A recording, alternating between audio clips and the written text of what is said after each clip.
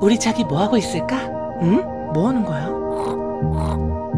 깜짝 놀래켜줘야지. 누구게? 어 씨발 누굴까? 손가락에 반지가 없는 거 보니 미나구나? 장난하면 못 꺾어버린다. 당연히 농담이지 그러면 이제 맞춰봐. 야 자냐? 어 잠깐 졸았네 요즘 너무 피곤해서 말이야 이제 대답해. 질문이 뭐였지? 뭐긴 뭐야? 내가 누구냐고. 아 누구긴 누구야 우리 이 자기지 새끼 머리 쓰는 거 보소. 자기야 이제 손 치워줘 눈알 뽑힐 것 같아 자기 누구? 그게 무슨 뚱딴지 같은 소리야 자기가 누구냐니 닥치고 이름 말해.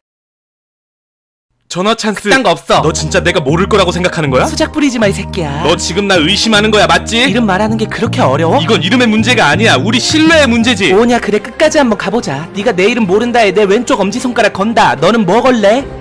이렇게까지 피를 봐야겠어? 쫄리냐? 쫄리는 건 내가 아니라 너겠지. 이 새끼 쇠바닥 노리는 거 보소. 마지막 기회 줄 테니까 이 손 떼. 마지막 기회는 내가 너한테 주는 거야. 이제 더 이상 돌이킬 수 없어. 그래도 상관없는 거야? 뭐냐 내가 바라던 바다. 오늘 둘 중 하나는 뒤지는 거여. 셋세면 동시에 우리가 첫 키스했던 장소 말하는 거다. 고작 생각이 된다는 게 그거냐. 이런 귀여운 새끼. 쫄리면 돼지시던지. 아가리 그만 놀리고 시작하자. 하나 둘. 기도하냐 가기 전에 마지막 한마디만 하게 해주라. 혀. 손이 많이 거칠어졌구나. 박효진. 틀렸어 이 개새끼